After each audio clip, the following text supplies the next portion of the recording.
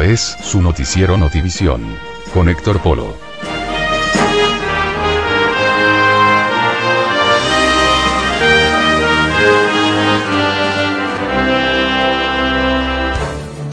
¿Qué tal? ¿Cómo está? Me da gusto saludarlos en este servicio internacional de noticias de Notivisión Channel que transmitimos desde el centro de la República para todo el mundo a través de nuestro portal en internet www.notivision.tv.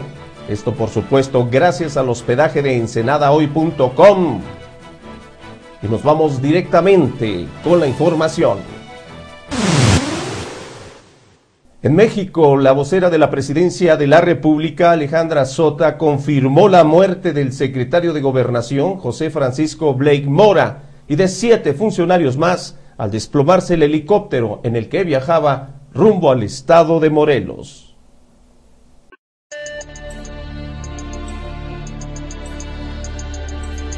Estas son las primeras imágenes aéreas que Televisa captó del helicóptero accidentado del secretario de Gobernación, Francisco Blaymore. Las imágenes permiten apreciar que los restos del helicóptero AS-332 Super Puma quedaron completamente destrozados.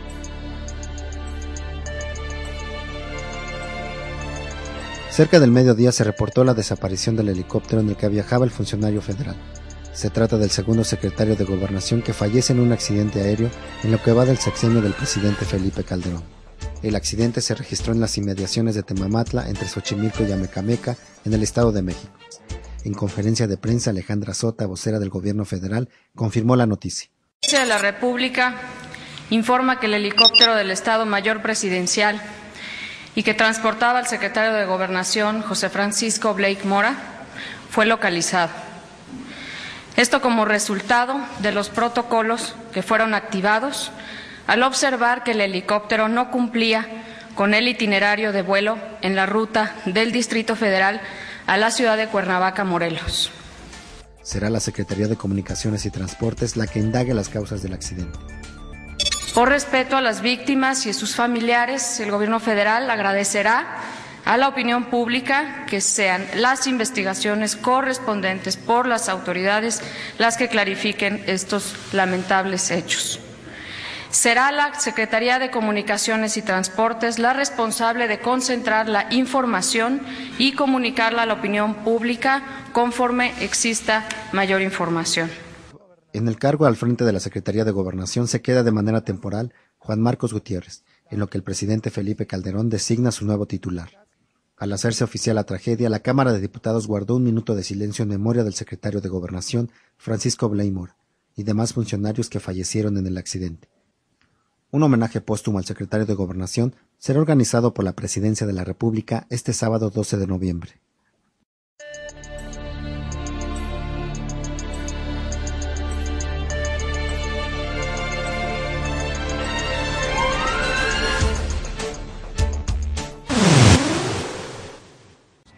Han muerto siete personas y no hay supervivientes. Nada más conoces la noticia, el presidente Felipe Calderón ha convocado una reunión de urgencia. Se están investigando todas las posibles causas. En las primeras informaciones se ha apuntado que el accidente lo ha podido provocar la densa niebla. Había dicho Carlos. le voy a pedir a mi compañero camarógrafo que no nos acerquemos tanto a, las imágenes. Recordamos ese accidente que se ha producido en México, en el que han muerto siete personas, no hay supervivientes y entre ellos el ministro del Interior mexicano. En este accidente, Francisco Blake Mora. Venía zumbando, se escuchó un tronido y se estrelló. Así lo declaran los testigos más cercanos de la caída del helicóptero en donde perdió la vida el secretario de Gobernación, Blake Mora.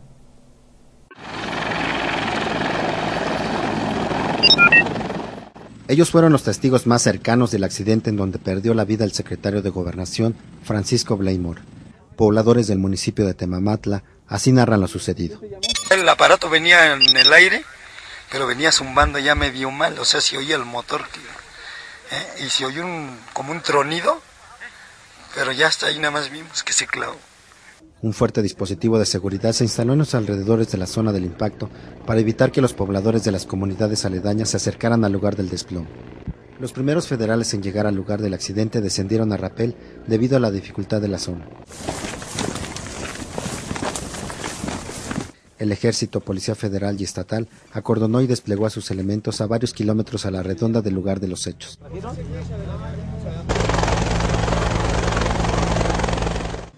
Las autoridades mexiquenses, capitalinas y federales levantan evidencias tanto de peritos como de expertos en aeronáutica civil, quienes determinarán en los próximos días las posibles causas.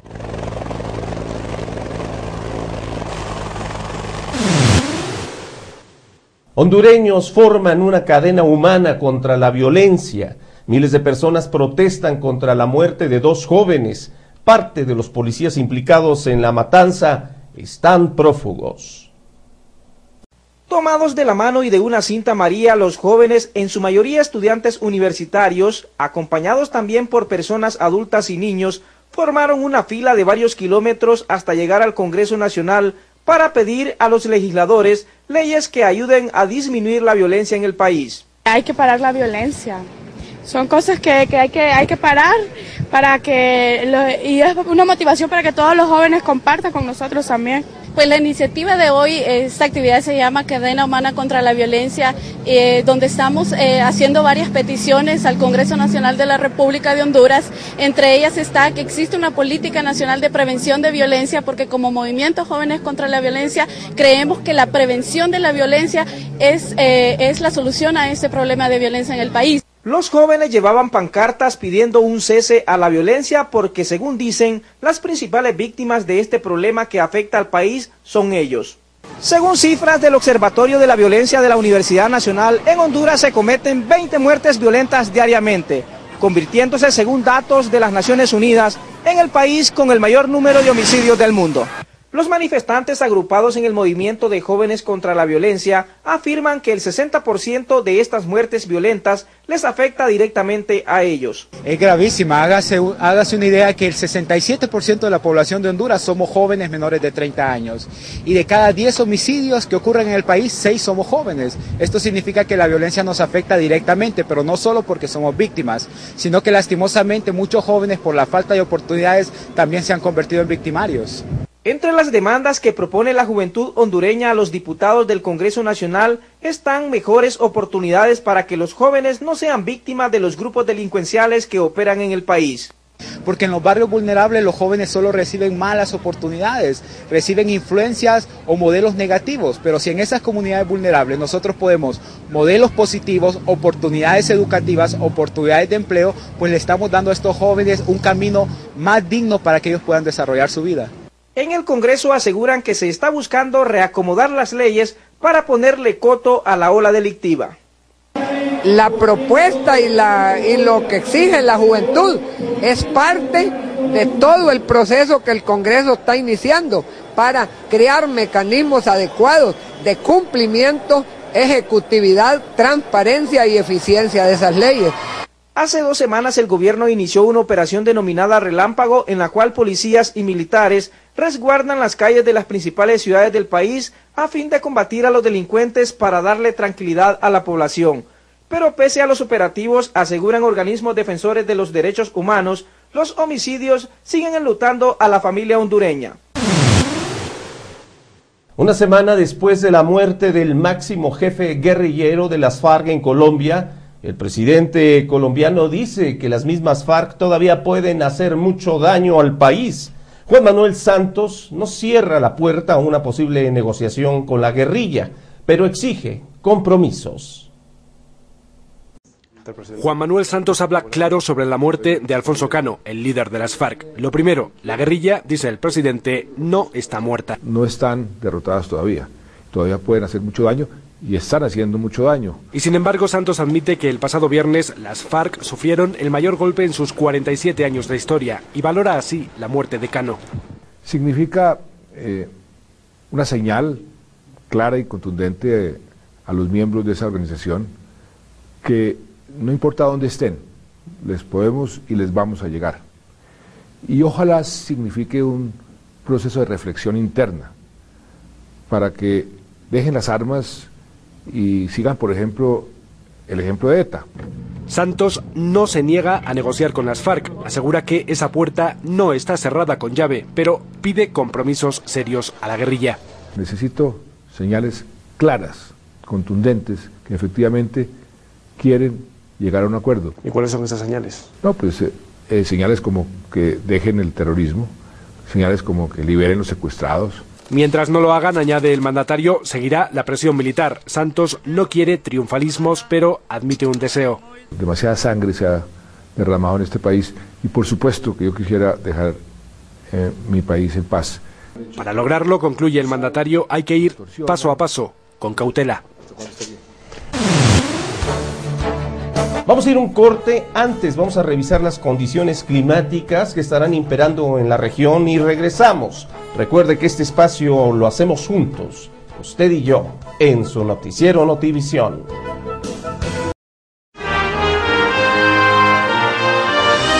Continuamos con Héctor Polo en su noticiero Notivisión.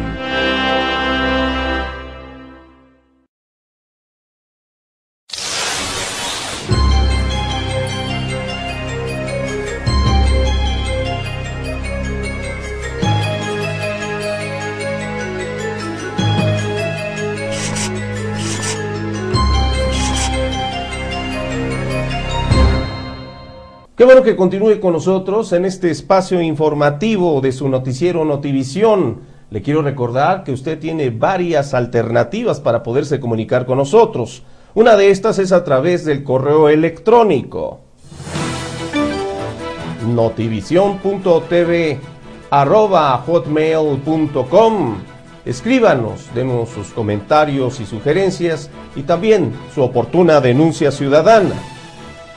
Y si así usted le parece, puede incluso también escribirnos a través de las redes sociales. Hágalo en el caso del Facebook como Notivisión TV, ahí usted nos puede agregar. Y si usted cuenta con Twitter, síganos como arroba Héctor Polo. En Grecia, el nuevo gobierno que ha tomado posesión ha celebrado ya esta tarde el Consejo de Ministros. Las primeras palabras conocidas del nuevo primer ministro Lucas Papadimos son suficientemente expresivas y claras. No va a ser fácil. Todos a una. Lucas Papadimos y sus 17 ministros se han conjurado ante la Biblia para salvar de la bancarrota en solo 100 días a un país en caída libre. Tres meses no son suficientes, dice Alecos, traduciendo la opinión de muchos compatriotas. Lo veo difícil, reconoce Basilis, estudiante de matemáticas, pero espero que el acuerdo entre el PASOK y Nueva Democracia mejore la situación. Estos días ha llegado a miles de hogares un recibo como este, el nuevo impuesto sobre la propiedad, similar al IBI español. Una de las medidas que ya puso en marcha el gobierno de Papandreou, junto a la subida del IVA hasta el 23% y fuertes rebajas de pensiones y salarios públicos una espiral de recortes que ha desplomado el nivel de vida de los griegos hasta niveles impensables hace solo dos años. Pero los expertos dicen que todavía queda mucho por hacer. Lo primero es seguir adelante con las privatizaciones, también con la prometida reducción de 30.000 empleos en el sector público y acometer reformas estructurales. Si el nuevo gobierno hace los deberes, llegarán los 130.000 millones de préstamo del nuevo plan de rescate y la condonación de la mitad de la deuda en manos de los bancos internacionales. La tarea más urgente, establecer un calendario de reformas para hacer caja con los 8.000 millones de euros del siguiente tramo del rescate, porque el gobierno reconoce que solo le queda dinero hasta mediados de diciembre. En Italia han aprobado hoy los recortes que Bruselas le exigía retrasar la jubilación a los 67 años, privatizar servicios públicos y bienes del Estado. El día de hoy recibirán el visto bueno del Senado y mañana debe aprobarlos el Congreso. Aplausos y profusión de saludos. Mario Monti no daba abasto en el Senado. El posible nuevo primer ministro baja la arena de la séptima economía del mundo en estos momentos al albur de los mercados. A Italia la asfixia su altísima deuda externa equivale al 120% de su Producto Interior Bruto y la economía sumergida al 17%. Las familias están poco endeudadas, el paro es del 8%, pero el país hace años que no crece. Con estas cuentas, la crisis y el desprestigio han tocado la fragilidad del gigante. Dicen los expertos que Berlusconi heredó parte del problema, pero la parálisis de su gobierno y su empeño en negar la crisis han llevado al país al borde de la quiebra. En estos diez años Berlusconi ha evitado los problemas. Se presentó como el rico empresario de éxito que habría liberalizado la economía, pero no ha sido verdad. Está aún más enyesada. Podríamos decir que ha sido un decenio perdido para la economía italiana. Al mejor candidato para resolver la ecuación le llueven los adjetivos prudente, riguroso, racional, determinado, hasta Super Mario. Hoy, tras darle la bienvenida, el Senado aprobaba las medidas económicas pactadas con Bruselas. Retraso de la jubilación hasta los 67 años, privatización de las empresas públicas municipales y venta de terrenos e inmuebles del Estado, entre otras. Mañana serán aprobadas en la Cámara y después Berlusconi debería dimitir se palpa que el cambio de ciclo es cuestión de horas. Los semanarios despiden a El Cavaliere con toda clase de ironías. Saben que para la próxima edición otra cara, otro nombre tomará el relevo. Merkel y Sarkozy negociarán un nuevo modelo europeo. Los mandatarios de Alemania y Francia estarían negociando la salida del euro de algunos países. Los que cumplen a un lado, los que no al otro. Aunque Berlín se ha apresurado a desmentirlo, cada vez son más los rumores de un pacto secreto entre Merkel y Sarkozy para crear dos Europas. Lo que sobran son especulaciones y se necesitan determinación y toma de decisión. El núcleo duro lo lideraría la pareja franco-alemana y los países capaces de cumplir la política fiscal, entre los que parece que estaría España. Pues técnicamente es muy complicado, ¿no? porque realmente estamos en un proyecto de moneda única con un banco central único. En el pacto se contemplaría la salida del euro de los que simplemente no pueden estar. Los griegos parece que se han dado por enterados y en solo una semana han sacado 5.000 millones de euros de sus bancos por temor a un corralito. Un euro dos velocidades quiere decir que nos hemos cargado el euro. Acostumbrados ya a aparecer juntos, incluso a contagiarse la sonrisa, su supuesta Europa estaría más integrada y sería más gobernable, pero solo para unos pocos elegidos. Bruselas se niega. El nuevo guerrero del arco iris o Rainbow Warrior 3 de Greenpeace es un velero construido con materiales totalmente sustentables atracó hoy bajo los altos edificios del Centro Financiero de Londres, esto en su viaje inaugural por Europa. En su viaje inaugural por Europa, el nuevo Rainbow Warrior 3 de Greenpeace atracó bajo los altos edificios del Centro Financiero de Londres. Se trata de un velero construido totalmente con materiales sostenibles que permite ahorrar combustible, como nos explica Pet Barbal, segundo de a bordo del Rainbow. El otro era un velero, pero era un velero muy poco eficiente. Entonces la idea era construir un velero que fuera eficiente a vela, que navegara al máximo tiempo a vela para ahorrar combustible. El estreno lo hacen al cumplirse 40 años de su primera acción en defensa del medio ambiente, cuando unos pocos activistas trataron de detener unas pruebas nucleares estadounidenses en Alaska. El nuevo velero, de 58 metros de eslora, permanecerá en el puerto de Londres hasta este domingo, dentro de un recorrido europeo para agradecer las donaciones que han sufragado su construcción. El guerrero de Arcoiris 3, que ha costado 23 millones de euros, puede llevar a bordo a 32 marinos y tiene capacidad para que un helicóptero aterrice en él. Toda la financiación para el nuevo barco ha sido conseguida a través de donaciones privadas, ya que la organización ecologista rechaza los fondos que pudieran ofrecer gobiernos e instituciones para que la obtención de ingresos no comprometa sus objetivos. Hasta aquí la información. Esto ha sido lo más relevante acontecido en materia informativa internacional. Yo lo espero dentro de una hora con más noticias, por supuesto, aquí en su espacio de Notivisión Channel. Soy Héctor Polo. Pásela, pásela muy bien.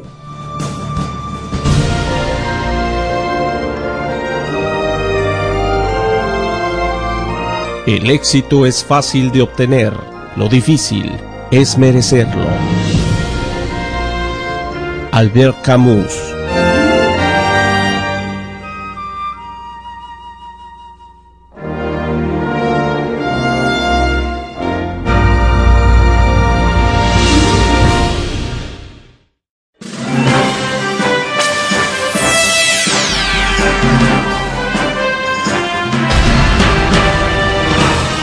Esto fue su noticiero Notivisión con Héctor Polo.